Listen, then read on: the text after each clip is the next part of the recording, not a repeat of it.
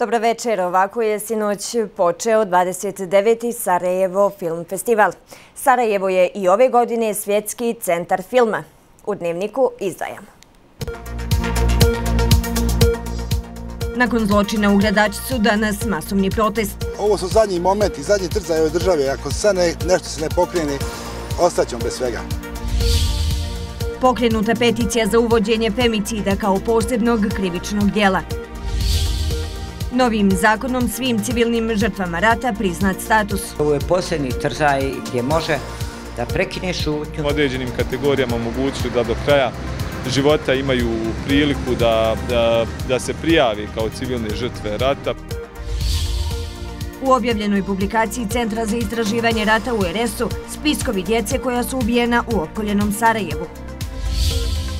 Niko nije iznad zakona, poručili iz OHR-a. Nekoliko stotina građana održalo je proteste na gradskom trgu u Gradačcu, dan nakon krvničkog čina Nermina Sulejmanovića, koji je ubio tri osobe, među kojima je i njegova nevjenčana supruga. Okupljeni su poručili da žive u strahu, jer ih sistem, prvenstveno policija i pravosuđe, ne štiti od osoba kao što je Sulejmanović. Zatražili su hitne mjere i poručili da je sve moglo drugačije, da sistem nije u potpunosti zakazao. Mještani gradačica i danas u šoku nakon nezapamćene tragedije koja je potresla ovaj grad. Još uvijek prepričavaju kako se sve desilo. On je bio tu, evo, tu, poviš, uzimao, uzimao municiju. Nego sreća što je bio trgovac toliko pribranka. Mu je čovjek pokazao pištolj u čal da je dao lažnu municiju. E, ne mogu ni zamisliti šta bi se dešao dalje da on imao 200 metaka pravi metaka.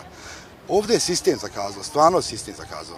Posebno kažu okupljeni i brine činjenica što je žrtva tražila zaštitu, ali je nije dobila. Čuli ste znači, da je žena prijavila nasilje, da su ljudi na to bili ignorisali, imuni bili.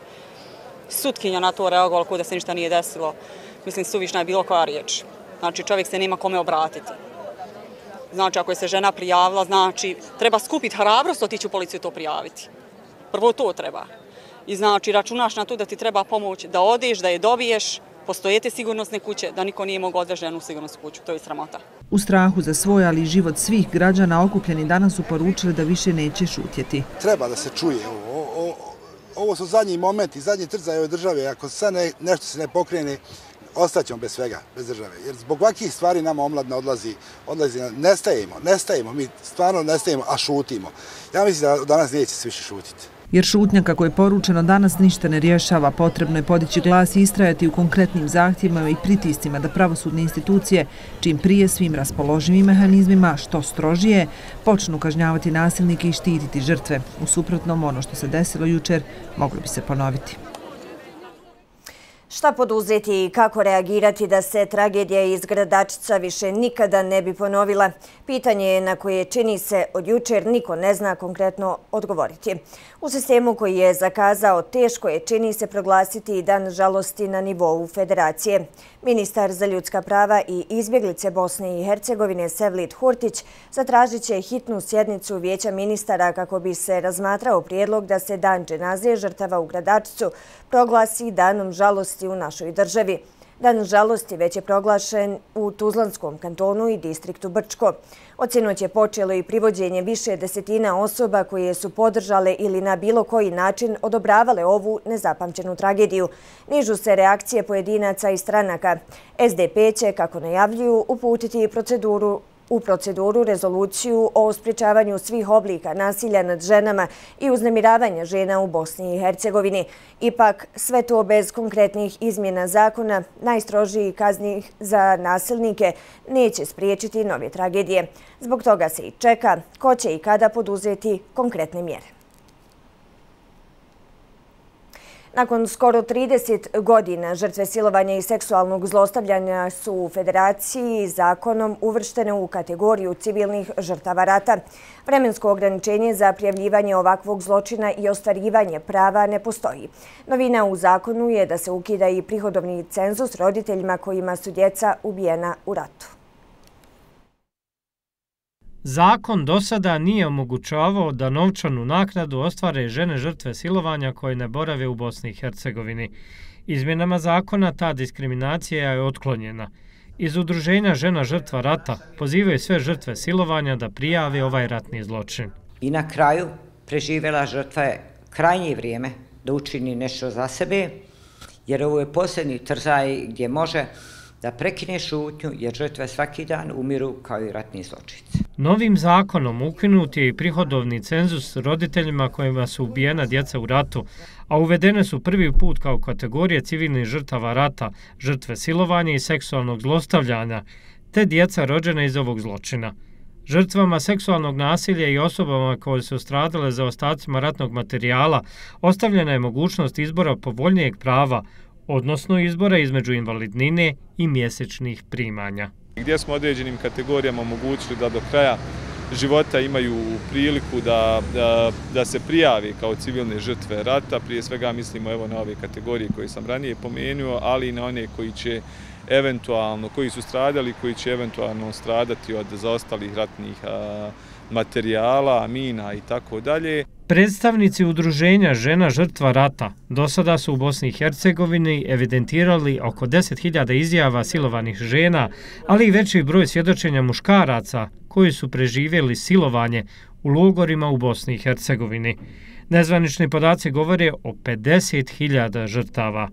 Ovih dana u udruženje su došle i žrtve koje o svojim traumama nisu govorile. Žene koje nisu do danas pregovorile, 50% mi njih imamo kroz druge izjave u našoj bazi podataka, o ratni zločinika ne zastarijeva, tako i da je preživjela žrtva, može da prekine šutnju, jer one ne govore, kriju svojih članova porodica, kriju od muževa, od srodnika i na kraju, kad u njenim prsima pukne ta neka, što mi kažemo, atomska bomba, kad više se ne može nositi sa tim, ona pozove naše udruženje. Poslednji nekoliko dana nam se jalo tri preživele žrtve, ima i muškaraca. Predviđeno je između ostalog da svi od nadležni organi za korisnike prava donesu nova rješenja o budućem korištenju prava.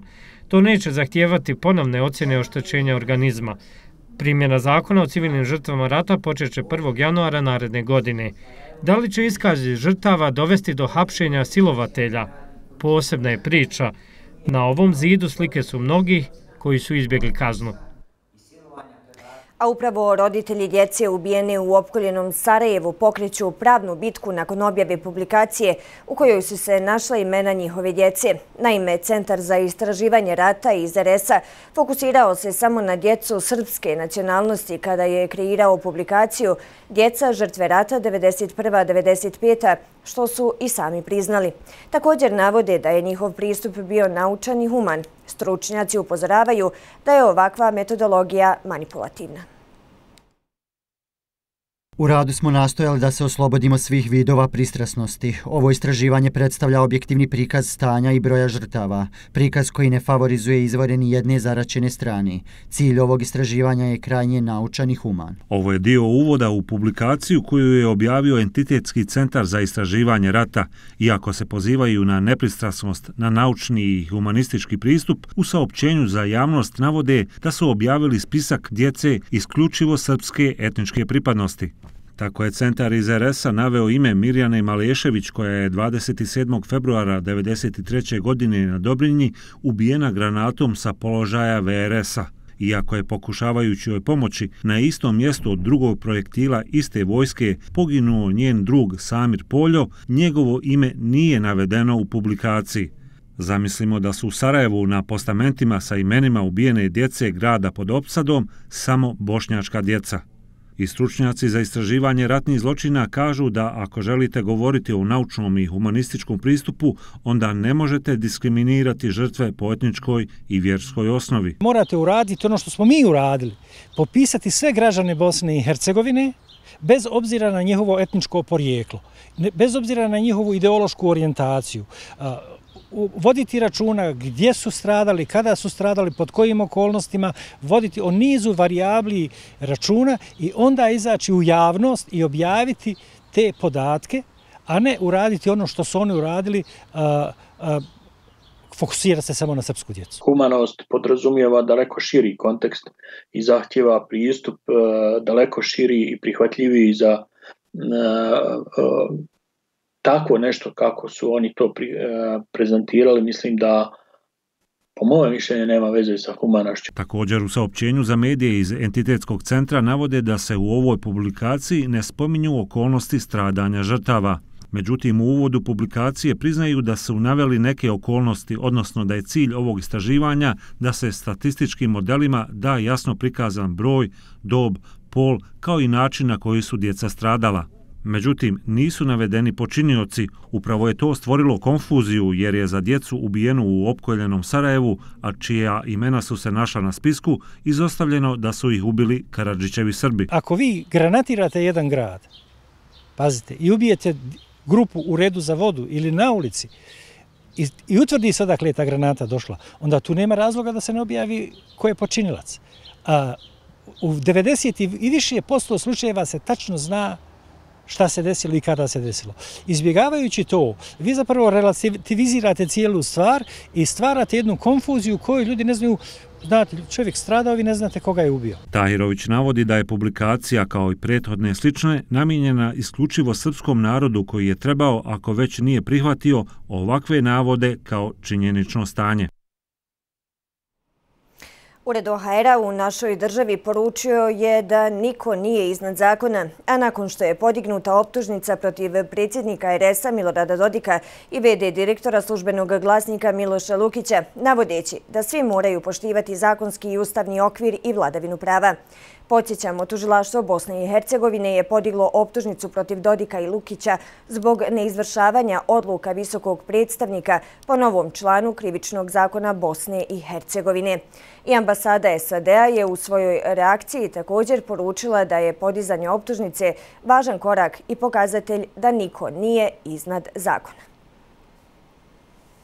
A Dodik je na preskonferenciji za podizanje optužnice optužio američkog ambasadora u Bosni i Hercegovini, Michaela Marfija, za kojeg je kazao da svaki dan smišlja šta će raditi protiv Srba. Ukoliko dobije poziv iz suda Bosne i Hercegovine, rekao je da će se odazvati, ali i podnijeti prijavu protiv tužioca. Potvrđivanjem optužnice, kako je rekao, sud bi potvrdio da je dio srbofobije, te je pozvao građane da se okupe oko predsjednika RS-a nastavit će dogovore sa partnerima u vlasti, ali pod svojim uvjetima. Jedan od uslova za dalje kretanje jeste da parlamentarna skupština poništi mogućnost da bilo koji pojedinac nameći zakon. To mene ne oslobađa, jel? po njihma tam koji to tako tumače, on misle da taj zakon sad postoji. Ali ako hoćemo buduće korektne odnose, onda ne može ovo da obstane. Ne minjajte kanal, u drugom dijelu dnevnika donosimo. Dječje odmaralište Lozica kod Dubrovnika vraćeno Crvenom križu Novo Sarajevo. Ono što sada moramo uraditi je da se svi ujedinimo kako bi rekonstruisali samo odmaralište. Može da se napravi jedan dobar master biznis plan Ispraćen konvoj pomoći za sanaciju štete od poplava u Sloveniji. Festivalom Italije i Bosne i Hercegovine obilježen Međunarodni dan mladih. Večeras zvanično otvaranje takmičarskog programa igranog filma 29. Sarajevo Film Festivala. U okviru trećeg kola Premier Lige Bosne i Hercegovine u futbalu večeras igraju željezničari Banja Lučki borac. Danas je Međunarodni dan mladih. Prije 24 godine Skupština Ujedinjenih naroda u svojoj rezoluciji prihvatila preporuku Svjetske konferencije za mlade te odlučila da će 12. august biti posvećen mladima. Cilj je skretanje pažnje na pitanje mladih i ukazivanje na potencijal mladih kao partnera u današnjem globalnom društvu. Jedan od načina da se čuje njihov glas je da i omladina iz različitih dijelova naše države više komunicira i sarađuje, pogotovo kada su u pitanju pitanju osnovna prava kao što su obrazovanje i zapošljavanje. Mladi u Bosni i Hercegovini suočavaju se s nizom problema koji često rezultiraju napuštanjem zemlje. Ovi problemi uključuju nedostatak radnih prilika, nepovezanost obrazovnog sistema s tržištem rada, nestabilna radna mjesta i nedostatak mogućnosti za dalje obrazovanje i razvoj. Moj lični utisak je da se mladi u Bosni i Hercegovini nalaze e, u nekakvoj vrsti sjene. Nekada smo i mi mladi možda e, doprinjeli tome što možda dovoljno ne pravimo iskorake, dovoljno ne pravimo inicijative, ali nekako mislim da je čitava situacija u društvu takva e, da e, mladi nisu nešto e, što je primarno. Naravno, mi smo tu da mijenjamo tu sliku, da pokazujemo da su mladi zaista bitni. Mi pokušamo raditi neke promjene, pokušamo motivirati mlade ljude. Nažalost, onda mladi ljudi dođu u sistem kakav postoji, u društvo kako postoji, to ih sve demotivira i to su razlog zašto mladi napuštaju Bosne i Hercegovine. Slobodan Blagovčanin iz Omladinskog resursnog centra Tuzla izjavio je da položaj mladih u Bosni i Hercegovini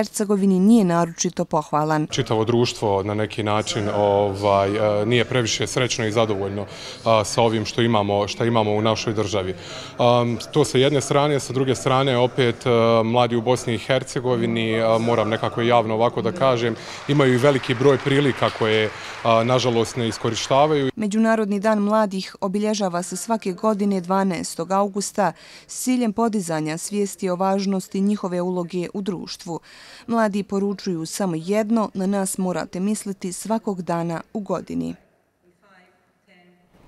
Međunarodni dan mladih obilježen je i u Centru za edukaciju, sport i rekreaciju Safet Zajko, zajedničkim festivalom Italije i Bosne i Hercegovine. Održan je niz međusobno povezanih aktivnosti s mladima s ciljem podizanja svijesti o važnosti mira, suživota i tolerancije za zdravo i prosperitetno društvo, uključujući zanimljive sadržaje usmjerene k zdravlju mladih. Međunarodni dan mladih posvećen je podizanju svijesti o pitanjima koji se tiču mladih i promociji njihove uloge u društvu. Rad sa mladim ljudima koji je neprocijenjivo važan, prioritet je za Ujedinjene nacije u cijelome svijetu, pa tako i u Bosni i Hercegovini. U okviru festivala organizovano su sportska takmičenja, ali i takmičenja u pripremi tradicionalne domaće italijanske hrane, kao i degustacija. Skupa su uključeni u sportske i rekreativne aktivnosti. Također imamo i kulturološku razminu u okviru toga projekta. Zatim uvodimo, predstavljamo također i italijansku kuhinju. I naime, vjerujemo da kroz sve to, taj jedan zajednički rad, i zajedničko druženje možemo doprinijeti prevazilaženju razlika. Izvršna direktorica specijalne olimpijade navodi da je cilj promovisanja inkluzije podizanje svijesti o potrebama ljudi s invaliditetom i da im se pruži prilika za izražavanje njihovih talenata. Cilj je na neki način da se ove dvije zemlje povežu, ali kažem prije svega kroz onaj dio inkluzije, kroz povezivanje različitosti e, osoba sa i bez invaliditeta, na neki način cilj i strategije Evropske specijalne olimpijade Evrope i Eurazije gdje pripadaju e, i specijalna olimpijada Bosne i Hercegovine, specijalna olimpijada Italije i na neki način zemlje koje su potpisnice svi zaštit, e, povelja zaštiti ljudskih prava, zaštita osoba s invaliditetom kvalitetom. Zajednički festival Italije i Bosne i Hercegovine će se održavati širom zemlje i nastaviti promovisati mir i jedinstvo. Nakon 30 godina duge sudske borbe nekadašnje dječije odmaralište u Lozici u blizini Dubrovnika vraćeno je Crvenom križu Novo Sarajevo. Sada, gotovo godinu dana kasnije, krenula je borba za ponovno stavljanje u funkciju objekata koji su u sklopu odmarališta. Na prostoru od oko 4.500 metara kvadratnih nalaze se četiri objekta gdje su od 1959. pa sve do napada na Dubrovnik 1991. dolazili učenici, studenti, penzioneri. Odmaralište je radilo tokom cijele godine. Crveni križ je dugo vodio pravnu borbu za povrat svoje imovine od marališta u Lozicama kod Dubrovnika, na čemu smo na kraju i uspjeli. Donesena je presuda kojom se gradu Dubrovniku nalaže da izda tabularnu ispravu kojom će se uknjižiti nekretnina od marališta, uknjižiti na općinsku organizaciju. Važno je napomenuti da je u dijelu vlasništva od cijelokupnog odmarališta i Crveni križ Bosne i Hercegovine, društvo Crvenog križa Bosne i Hercegovine, koje također vodi aktivnosti na povratu svoje imovine. Prvi zahtjev za povrat imovine i uknježbu podnesen je u julu 1998. 2002. godine stigla je odbijenca. Na uloženu žalbu kroz šest godina stigla je još jedna, kada se i krenulo s tužbom. I nakon dugogodišnje borbe Crveni križ Novo Sarajevo sada je u poziciji da sve uknjiži, očisti i stavi odmaralište u funkciju. U ovom trenutku pokrenuli smo aktivnosti na e, saniranju, u stvari zaštiti naših objekata. Objekti su devastirani, napušteni, prepušteni za ubu vremena 30 godina i nažalost došlo je do priličnih oštećenja. Ono što želimo je da u narednom periodu objekte zatvorimo kako bi se spriješla dalja oštećenja. Onemogućilo bacanje smeća, inače se tu e, i vjetar kad nanese skupljaju se ostaci smeće i da se objekti zatvore i zaštite od daljeg propadanja i da se uknjiže na pravog vlasnika Crveni križ Novo Sarajevo. Pravni postupak je završen, međutim borba se i dalje nastavlja. Da bi se odmaralište ponovo stavilo u funkciju, potrebna su ogromna finansijska sredstva. Prvi u tome pomogli su im općina Novo Sarajevo i grad Sarajevo. Ono što sada moramo uraditi je da se svi ujedinimo kako bi rekonstruisali samo odmaralište, kako bi, kako bi mu vratili pr prethodnu namjenu. Ja sam pisala gradonačelniku Dubrovnika, svom kolege Mati, da pomogne kako bi, e, iz, kako bi konačno dobili tabularnu ispravu, kako bi grad Dubrovnik izdao tabularnu ispravu, Pored toga, Gradsko vijeće grada Sarajeva je jednoglasno usvojilo inicijativu da grad Sarajevo izdvoji 50.000 konvertibilnih maraka kako bi se pokrili pravni troškovi ovog postupka i kako bi se sam objekat zaštitio i za početak očistio. Po zatvaranju objekta radit će se na procjeni ulaganja. Ono što je važno jeste da vlasnik vidi u odmaralištu perspektivu samoodrživosti. Međutim, da bi se sve stavilo u funkciju, ipak očekuju pomoć društvene zajednice. U određenom periodu tu mogu da borave penzioneri. E, najveća su nam briga mladi, dakle socijalno ugroženi koji nemaju priliku da odu na e, takvu vrstu ljetovanja. Zatim imamo škole u prirodi, imamo ekskurzije, imamo osobe koje su na oporavku poslije operativnih ili drugih zahvata. Nažalost, nakon agresije na Bosnu i Hercegovini i opsede grada imamo veliki broj invalida. Dakle, može da se napravi jedan dobar master biznis plan u kojem možemo da skoro tokom cijele godine koristimo odmaralište i da ono e, samo bude samo održivo, ali da, da bi došli do te tačke ipak nam je potrebna podrška naših vlasti. Podsjećamo, nekadašnje dječje odmaralište u Lozici kod Dubrovnika nalazi se na atraktivnoj lokaciji s podzemnim prolazom ispod magistrale koji garantuje sigurnost djece. U neposrednoj blizini je i plaža koju koriste mještani, građani Dubrovnika kao i turisti. Jutros je isprećen konvoj sačinjen od materijalno-tehničkih i ljudskih kapaciteta službi zaštite i spašavanja za pomoć vladi Republike Slovenije u saniranju posljedica poplava. Odluku o pružanju međunarodne pomoći za zaštitu i spašavanje donijelo je vijeće ministara Bosne i Hercegovine. Prvi put je aktiviran mehanizam kojim zajedno učestvuju svi nivoji vlasti. Ovo je, reču, historijska odluka e, vijeća ministara, s obzirom da se radi e, po prvi put da se aktivira mehanizam e, koordinacije između nivoa Bosne i Hercegovine, federacije i svih kantonalnih civilnih zaštita. 350.000 konvertibilnih maraka vijeća ministara izvojila za ovu akciju. Mi smo u prošlu nedelju dobili poziv, odnosno zahtjev preko mehanizma civilne zaštite Evropske unije da pomognemo u teškim mašinama u raščićavanju, odnosno saniranju posljedica poplava. Mi smo se odazvali na taj zahtjev jedan tim sa teškim mašinama koji će otići na period od 10 dana da pomogne što se može pomoći u saniranju poplava. Ukupno pute mehanizma iz Bosne i Hercegovine ide 27 ljudi sa šest teških mašina. E, ovo je dio e, koji ide iz federacije. Ovdje imamo četiri teške mašine i na, na vozlima koja, koja će do, do, dopremiti ove mašine, idu znači, u pratnji. E, također imamo i par, par da kažem, la, lakših vozila, džipova i tako dalje, koji će biti kao neka vrsta logistike na samom terenu. Koncertom Dženana Lončarevića od 21 sat na Iliđi će svečano biti otvoren obnovljeni centralni trg. Za realizaciju ovog kapitalnog projekta iz budžeta općine Iliđa uloženo je više od milijoni pomaraka. U okviru koncerta najavljeno je i posebno iznenađenje. A u Sarajevo je jučer ponovo došla i čuvena CNN-ova ratna reportirka Kristijan Amanpur. Danas se sastala sa gradonačelnicom Benjaminom Karić, koja je Amanpur uručila plaketu počasni građanin Sarajeva, priznanje koje je dodjeljeno još 2000. godine. Amanpur je sinoću prisustvovala otvaranju SFF-a i projekciji filma Kiss the Future. I u nastavku ćemo uživo do crvenog tepiha. Nakon što su se sinoć prošetale zvanice sa kulturne i političke scene te počasni gosti, šta nas očekuje druge večeri Sarajevo Film Festivala, pitamo kolegicu Dijanu Mizdrak. Dijana, izvoli.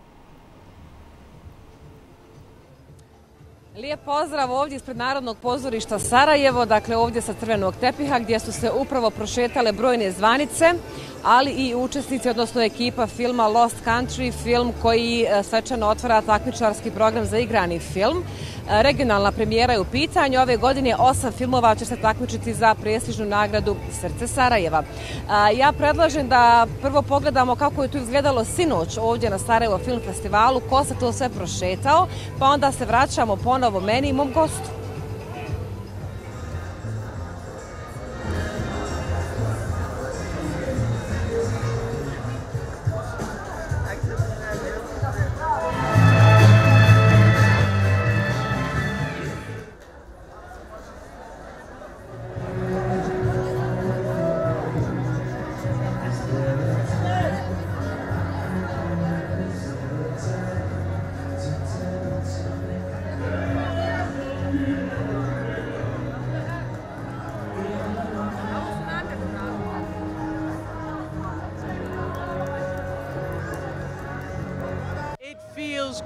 Divan je osjećaj biti u Sarajevu.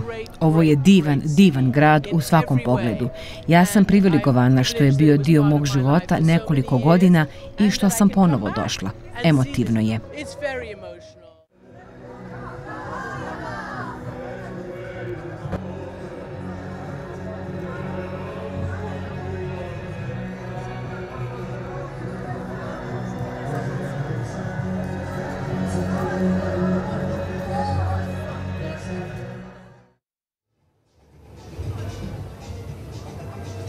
Vidjeli smo kako je tu izgledalo sinoć, svečarski večeras, dakle mnoge zvanice, kao što sam rekla, već su prošle crvenim tepihom i evo za neke tri minute počeće i regionalna premijera filma Lost Country.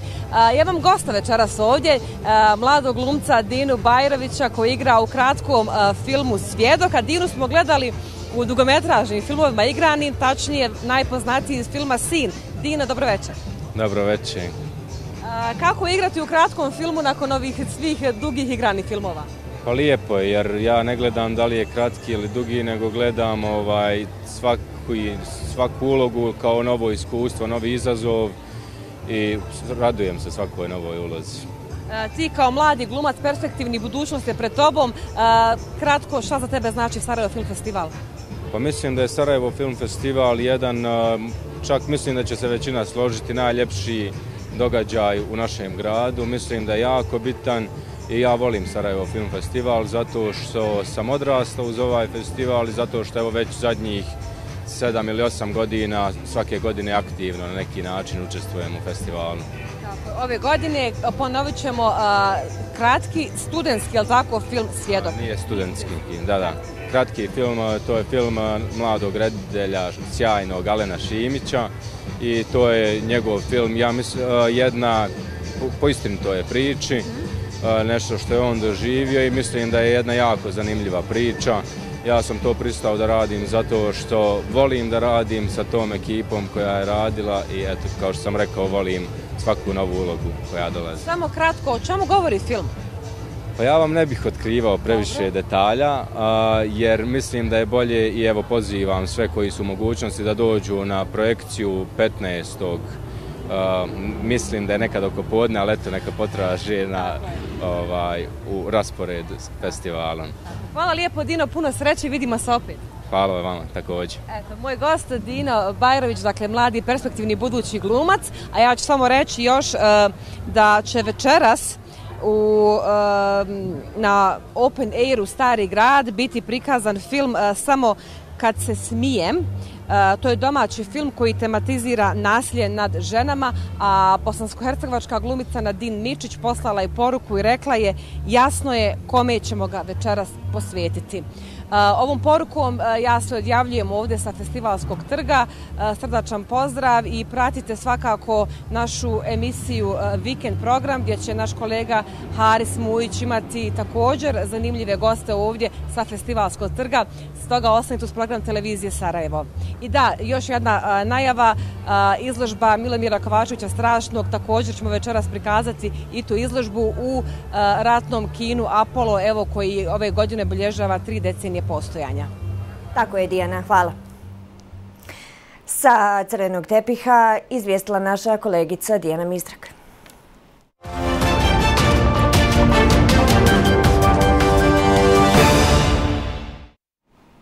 U okviru trećeg kola premijer Lige Bosne i Hercegovine u futbalu u 20 sati 45 minuta na Grbavici večeras igraju željezničari i Banjalučki borac. Za oba tima ovo će biti prvi premijer ligaški meč u sezoni nakon što su završili sa nastupima u europskim takmičenjima. Osim ove utakmice, danas su odigrana još dva meča. Konji Cigman i Dobojska sloga završili su rezultatom 1-0, a u Gabeli Goški je pobjedio Zvijezdu 0-9 rezultatom rezultatom 2-0. Za kraj informacija, sutra počinju radovi na obnovi raskrsnice na Čengić Vili. Raskrsnica se nalazi u izuzetno lošem stanju, a tokom izvođenja radova u potpunosti će biti zatvorena za saobraćaj. Trenutno se na toj raskrsnici nalazi privremeno stajalište i okretnica za autobuse, a tokom rekonstrukcije privremeno stajalište će biti u blizini mosta na Čengić Vili. Planirani rok izvođenja radova je 10 dana. Toliko u ovom izdanju Dnevnika. Hvala vam za ukazano povjerenje.